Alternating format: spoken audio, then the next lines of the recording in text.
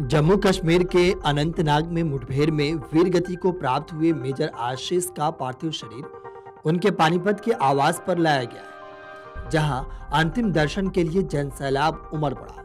जिसके बाद सैन्य अधिकारी और परिवार वाले मेजर के पार्थिव शरीर को लेकर गाँव बिंझौल के लिए रवाना हुए, जहाँ आज उनका अंतिम संस्कार होगा।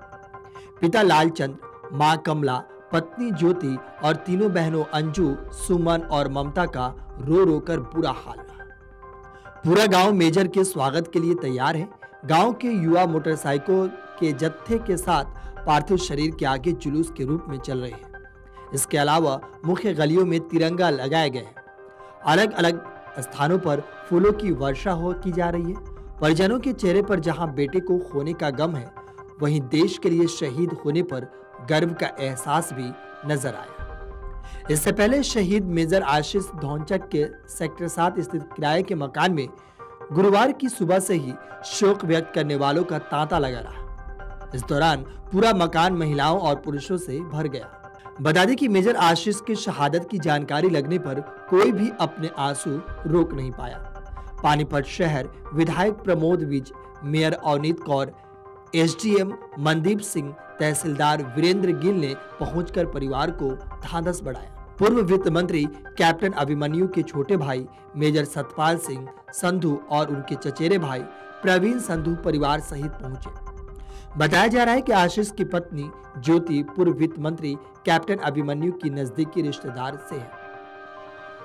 परिवार के लोग वीरवार की शाम तक पार्थिव शरीर पानीपत पहुँचने की आस लगाए हुए थे, लेकिन यह संभव नहीं हो सका। मेजर सतपाल सिंह संधु ने सेना के अधिकारियों से भी इस विषय में बात की। उन्होंने उनके पिता लालचंद और चचेरे भाई मेजर विकास से बातचीत की और उनको ढाढ़स बढ़ाया। उन्होंने इसके बाद परिवार के बाकी सदस्यों से बातचीत की। पिता लालचंद पूरे दिन लोगों से घिरे बैठे रहे। दोपहर बाद बाहर निकले तो हर नज़र उनकी तरफ़ थी। वे बोले कि सब कुछ होकर भी कुछ नहीं दिखाई देता। उन्होंने कहा कि चार दिन पहले ही बेटे आशीष से बात हुई थी। उसने अधिकतर समय मकान के काम के बारे में ही बातचीत की। वैसे तो अक्सर बात होती थी, लेकिन उस दिन उनकी बातों को सुनने का भी मन कर रहा था।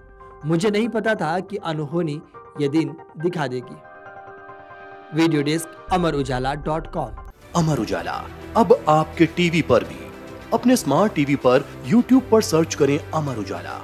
चैनल सब्सक्राइब करें और देखें ताज़ा खबरें।